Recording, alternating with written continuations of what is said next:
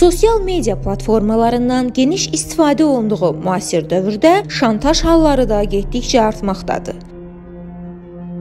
Şantajın geniş yayılmış növlərindən biri psixoloji şiddət və manipulyasiya ilə müşahidə olunan duyğusal şantajdır.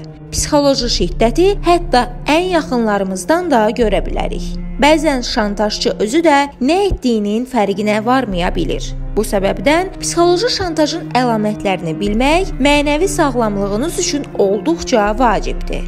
Duyğusal şantaja məruz qalmağın işarətləri isə bunlardır. Tələbkarlıq Qarşı tərəfin təhdid və istəkləri bitmir, getdikcə artır.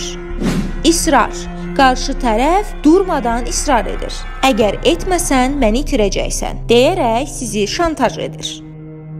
Təzyiq Qarşı tərəf öz istəkləri ilə bağlı manipulyasiyaya əl atır, mən bizi düşünürəm. Əgər sevsən, edərdin kimi ifadələrə baş vurur.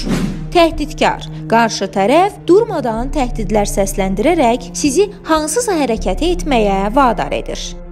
Şikayət. Qarşı tərəf sizi idarə edə bilmək üçün daim təhqir edir. Hansısa hərəkətlərinizin səhv olduğunu irəli sürür. Şantajla qarşılaşdıqda ona boyun əymək cəmiyyətdə bu kimi halların artmasına rəvac verə bilər. Unutmayın ki, şantaj olunarkən panika halına qapılmadan psixoloji və hüquqi dəstək almaqla özünüzü müdafiə edə bilərsiniz. Şantaja boyun əyməyin. Hər birinizin müdafiə hüququ var.